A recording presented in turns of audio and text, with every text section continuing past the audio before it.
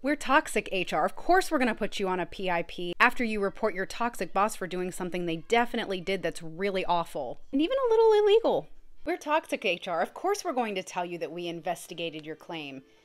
Because investigating, I don't know why that keeps happening when I say investigated. Take investigating very seriously. We're toxic HR. Of course, we're going to tell you that we're here for you, girl, when we're actually here for the company. We're toxic HR. We're going to heavily insist that you not talk about pay at work, but we won't put it in writing.